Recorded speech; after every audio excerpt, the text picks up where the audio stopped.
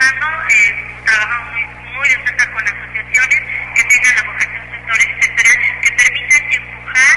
eh, el trabajo que venimos haciendo en México, Centroamérica y Cuba y buscamos siempre trabajar con un estos brazos